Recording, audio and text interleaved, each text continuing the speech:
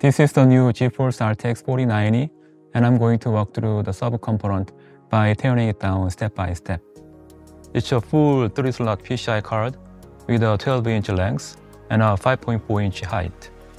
First, I'm going to remove the cover to access the screws and then take apart this card all the way down to the back cover.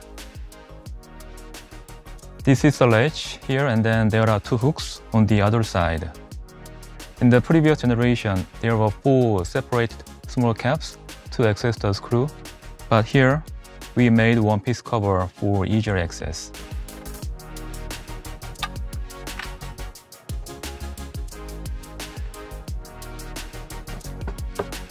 Now I can see the back cover.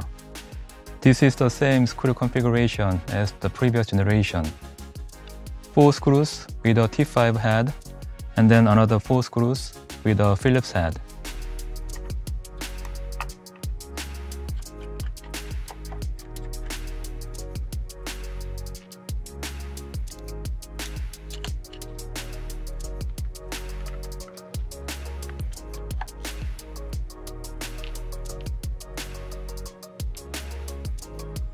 There are two more interlocking features in the middle.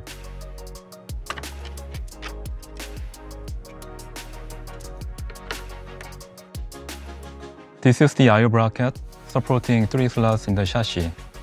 These are T8 head screws.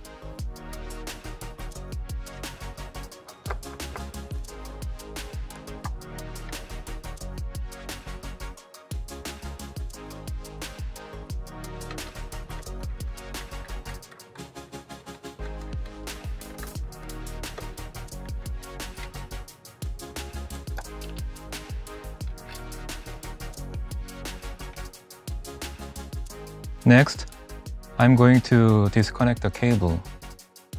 This is a wire cable for GeForce RTX logo lighting module. I'm going to unlock the silver latch first and pull up the cable.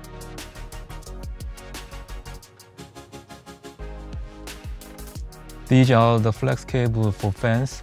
I'm going to open the black door first and then pull out the cable carefully.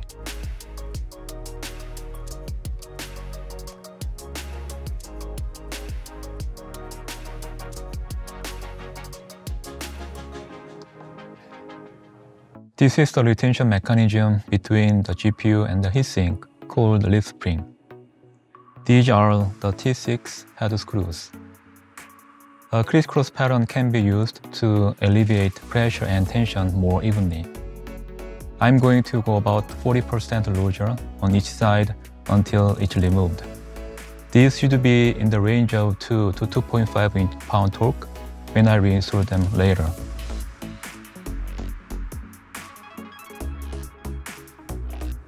Now the PCB should be free to be lifted up.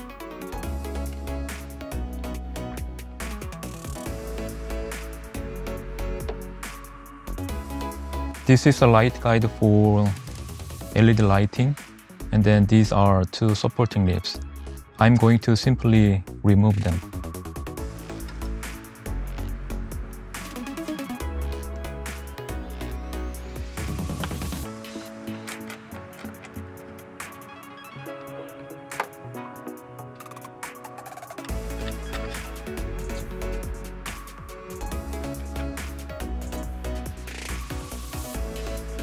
It's a full fan with one 16mm diameter mounted by four screws with a Phillips head.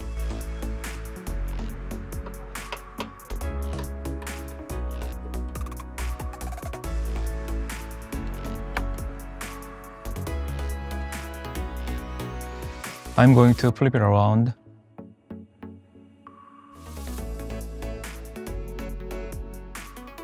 It's a push fan.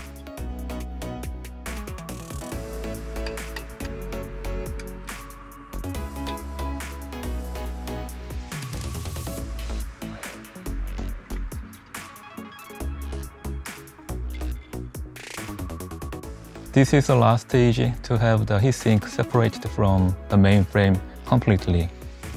There are three retention springs here, one, two, and three. It's the unique mechanism that has been used since the last generation in terms of mechanical architecture. Technically, it enables the heatsink to float on the GPU package and gives us direct thermal contact, not being affected by the manufacturing tolerance variation from the other associated components. The other benefit is that it can be the self-center of the card in the mainframe. I'm going to place the card on the table vertically uh, like this for easier handling.